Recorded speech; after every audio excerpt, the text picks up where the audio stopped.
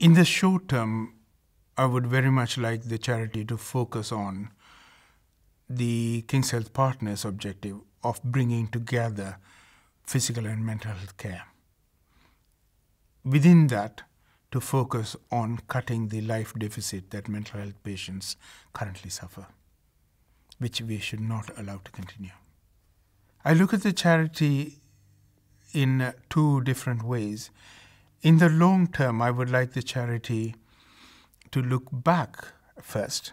We have been here for 800 years, and therefore I would like the charity to strengthen its endowment, strengthen its organization, so that it can survive and be a force for good in the mental health field for another 800 years. It is important that we, who are in charge of the charity now, see our stewardship duties so that we take care of it and leave behind what will grow and be strong.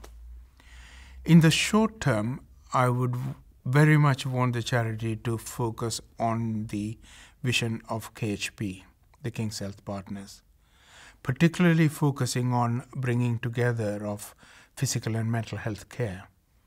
And within that, spend funds on research and bringing the research to patient care so that the enormous life deficit that mental health patients currently suffer. A mental health patient dies about 15 years younger than, uh, than the normal population, and we don't know why.